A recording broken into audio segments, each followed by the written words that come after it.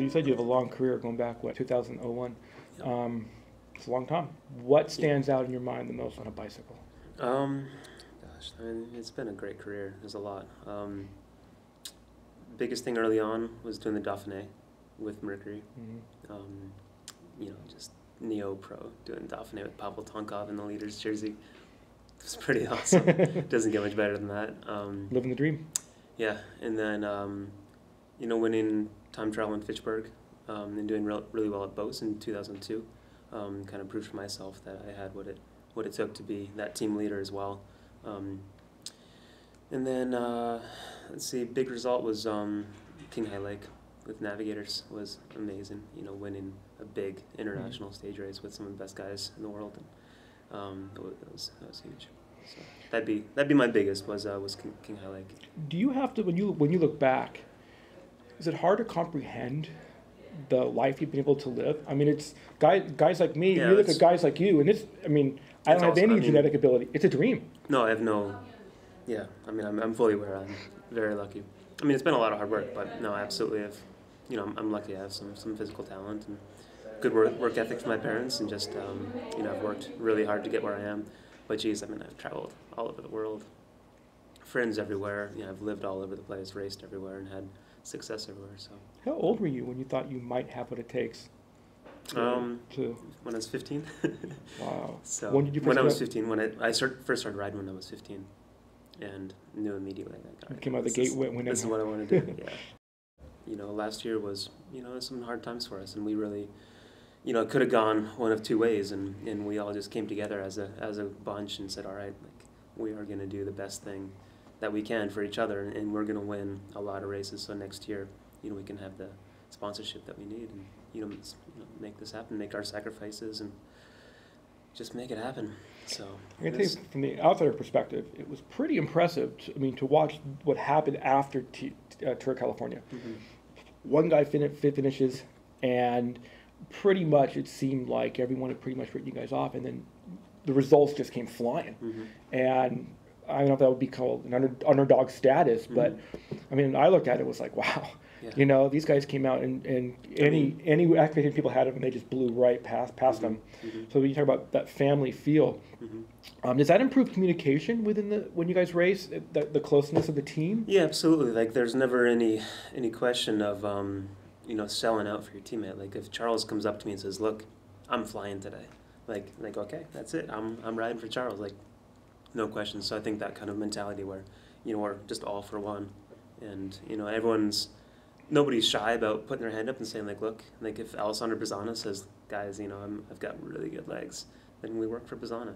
So you know I think that the management's done you know really good job of empowering us as as riders to make those decisions as well on the fly. So egos. So egos are in check. Yep, egos are in check. Yeah. It's- That it's seems like a good- big it's problem in a good lot of thing. other teams. Yeah. Egos are. Yep, no, You know, it's, you it's see- a really good thing.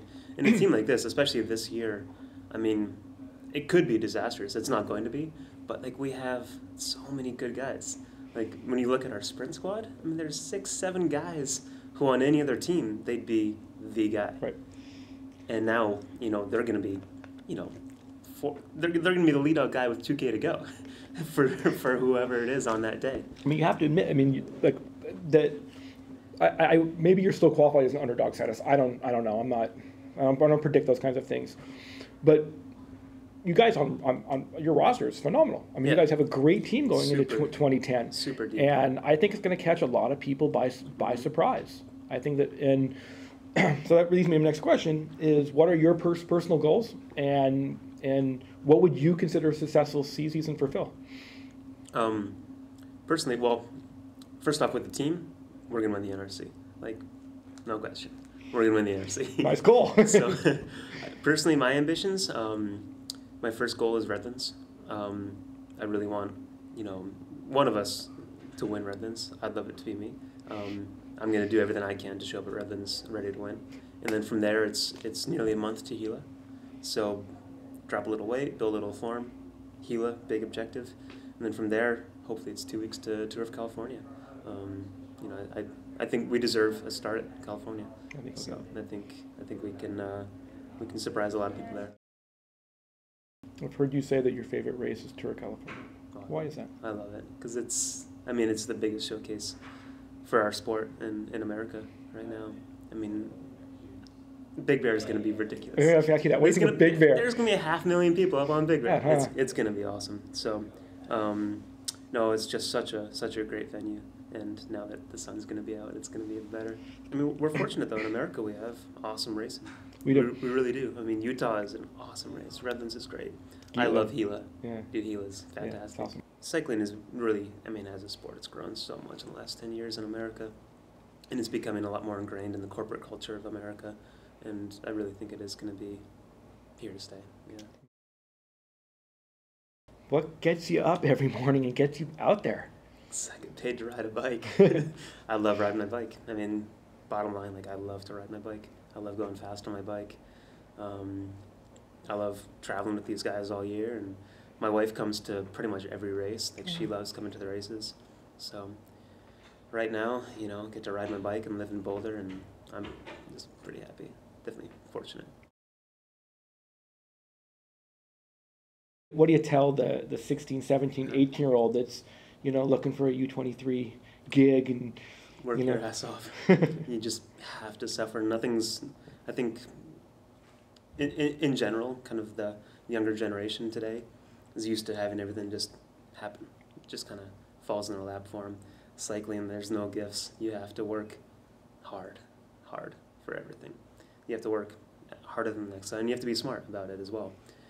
So you have to be train harder and smarter, and just be more efficient with everything you do. Phil, thanks for your time. Yep. We uh, expect to, we look forward to seeing you on the podium. Yeah, no, it's gonna be a good year.